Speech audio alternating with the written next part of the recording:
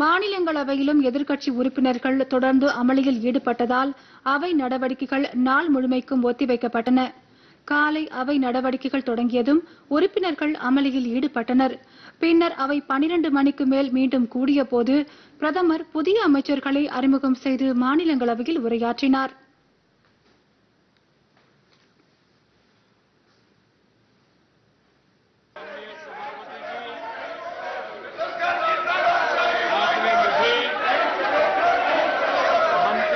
मंत्रिमंडल के नए सदस्यों का इस सदन में परिचय कराने के लिए आदेश दिया है आज एक ऐसा अवसर है इस सदन का जब इस देश के गाँव के than the Prime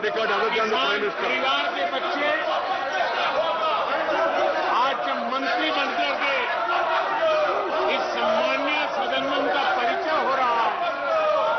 तो कुछ लोगों को बड़ी पीड़ा हो रही है आज इस सदन में महिलाएँ जो मंत्री बनी हैं उनका परिचय हो रहा है।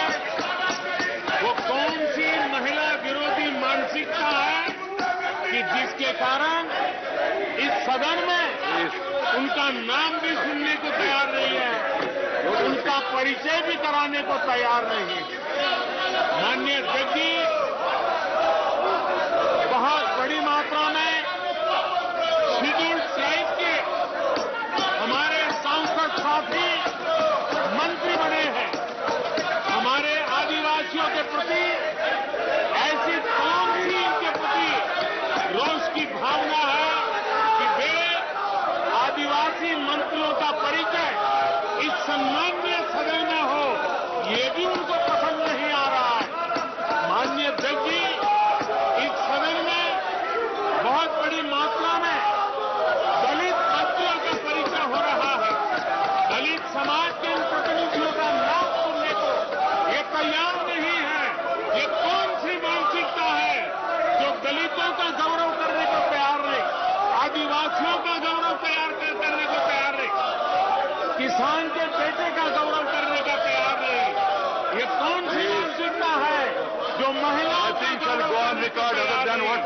प्रकार की विकृत मानसिकता पहली बार सदन में देखी है। और इसलिए मान्य जी आपने परिचय कराने के लिए जो अवसर दिया इसके लिए मैं आपका आभारी हूँ। लेकिन मान्य सभापति जी मंत्रिमंडल में नवनियुक्त सदस्यों को राज्यसभा में इंट्रोड्यूस समझा जाए அமளி தொடர்ந்த நிலையில் உறுப்பினர்கள் கொடுத்துள்ள நோட்டீசுகள் மீது உரிய முறையில் விவாதம் நடத்தப்படும் என்று மாநிலங்களவை தலைவர் வெங்கையா நாயுடு உறுதியளித்தார்